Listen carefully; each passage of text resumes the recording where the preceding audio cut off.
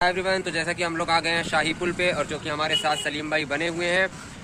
तो फ्रेंड लोग, यहाँ पे आप शाही पुल का व्यूज़ देख सकते हैं, कितना प्यारा आता है। बट ऊपर से तो इतना प्यारा आता भी नहीं है। अभी जाके हम लोग आप लोगों को नीचे से दिखाएँगे, क्योंकि सुनने में आया है कि नीचे नीचे से इसका व्यूज़ जो होता है, वो बहुत ज़्यादा प्यारा होता है। तो इसलिए हम और सलीम भाई जा रहे हैं नीचे और नीचे से इसका व्यूज़ दिखाएँगे, ठीक है? तो देख के आप कमेंट्स में बताना कि कितना प्यारा लगा। Hello everyone welcome back to my channel तो स्वागत है आप सभी का एक बार फिर से हमारे न्यू ब्लॉग्स में। तो हम लोग यहाँ पे आज आप लोगों को लेके आ गए एक सरप्राइज़ देना है कि हम लोग बहुत ही उमदा और बहुत ही बेहतरीन शूट पे आ चुके हैं, जो कि हमारे साथ बने हुए हैं हमारे सलीम भाई। तो अब सलीम भाई, हम बताने जा रहे हैं, हमें हमें इंतज़ार नहीं होता, अब हम जा रहे हैं बताने सीधा भाई लोग को कि हम लोग कहाँ पे आए हुए हैं। तो हम लोग यहाँ पे आए हैं शाही पुल पे। तो आप लोग ये हमारे पीछे देख सकते हैं, ये शाही पुल नज़र आ रहा है आप लोगों को। कितना प्यारा शाही पुल नज़र आ रहा है यहाँ से। लोकेशन भी बहुत प्यारा आ रहा है यहाँ से। तो सलीम भाई, सुनने में आया है कि इस पुल को जो, इस पुल का जो निर्माण किए थे वो शहनशाह जलालुद्दीन मोहम्मद अकबर ने किया था और किसके कहने पे किया था वो हमें अभी मालूम नहीं है। हम आप लोगों को क्या बताएँ? इसके बारे में तो सलीम भाई बता सकता है कैसे इस पुल का निर्माण हुआ। वो मैनू खान खाना से कर बोलकर इस पुल का निर्माण किया था? इस पुल का निर्माण पंद्रह सौ चौंसठ ईस्वी को हुआ था जो आज करीब साढ़े चार सौ साल पुराना इस पुल हो गया है। ये पुल दो उसको जोड़ने के लिए बनाया गया था। इस पुल की बनावट अकबर ने अपने उसे मैनू खान खाना से करवाया था। ये पुल गोमती नदी के ऊपर बना हुआ है। तो सलीम भाई आपका क्या नाम है कि मैनू खान खाना के कहने पर अकबर ने इस पुल का निर्माण किया था। जी जी। तो इतना बेहतरीन पुल यहाँ पे है और वहाँ पे हम लोग आपको बैक कैमरा करके यहाँ पे ऐसे दिखाते हैं कि वहाँ पे नाव चल रही है हम लोग क्या नाव पे बैठ सकते हैं या नहीं। चलते हैं उसके पास फिर उसके बाद पूछते हैं कि भाई आप हमको नाव पे बिठा के अभी इसका शेयर करा सकते हैं कि नहीं। है तो पानी तो बहुत गहरा नज़र आ रहा है। हाँ सलीम भाई आप कुछ बोल रहे हैं? अभी आपको एक और चीज़ दिखाएँगे हम लोग ऊपर से। इसका बहुत ही तगड़ा व्यूज़ रहता है जिसकी वजह से अभी हम आपको लेकर चलते हैं ऊपर ऊपर दिखाते हैं आपको। बहुत ही खूबसूरत नज़ारा ये रात में जो है जैसे कोई चांदनी सी चमक रही है ऐसा लगता है स्कूल। नहीं बिल्कुल बिल्कुल अगर तो आप प्यारा कभी जौनपुर आए तो ये स्कूल पे ज़रूर एक बार आए।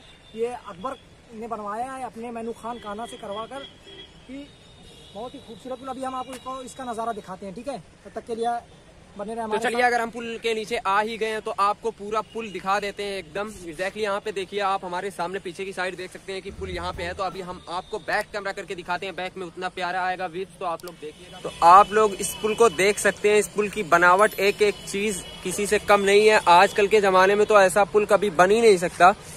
इस पुल की चौड़ाई तकरीबन 36 फुट है और इस पुल की बनावट जो ऊपर की है, बैठने और सब जो थके हारे आते हैं, वहाँ पे बैठने की सुविधा दी गई है। हर पुल के आप यहाँ पे देख सकते हैं, पहले यहाँ पे दुकानें हुआ करती थी मतलब यहाँ पे सब लोग आते थे दुकान उकान सब खोल दिया करते थे, ये जो थोड़ा आराम करने का वो दिख रहा है आप लोगों को, वहाँ पे दुकानें हुआ करती थी।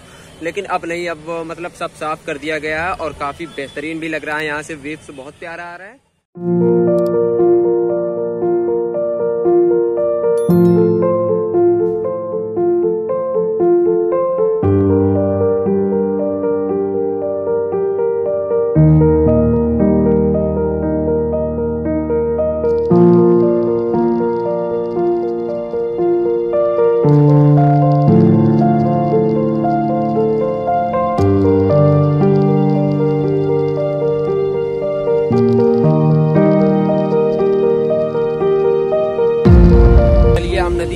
उस साइड जाते हैं, ये देख सकते हैं आप लोग।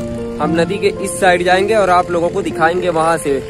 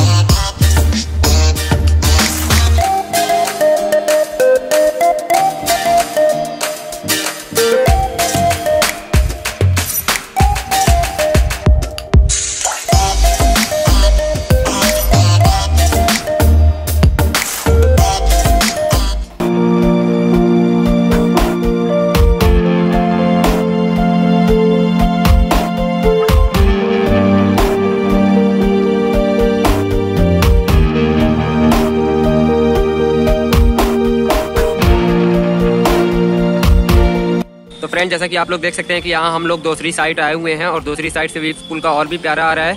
ये बादल देख रहे हैं आप लोग बादल और भी ज़्यादा व्यूज़ को प्यारा बना देता है भाई। और वहाँ पे देख सकते हैं वो मंदिर है। बाबा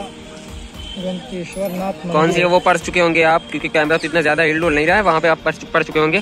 तो ये देख लीजिए पुल का नज़ारा देख लीजिए आप यहाँ पे वेब से देखिए कितना प्यारा। अभी हम लोग वहाँ पे थे सामने सामने से बना रहे थे सामने से भी बनाया और बट यहाँ पे भी आ गए हम लोग। और देखिए पीछे के साइड देखिए। आई होप कि आपको ये ब्लॉग पसंद आया होगा। तो इसी के साथ चैनल को लाइक करें एंड सब्सक्राइब करें और ज़्यादा से ज़्यादा शेयर करें। तो फ्रेंड मिलते हैं नेक्स्ट ब्लॉग में। तब तक के लिए बाय बाय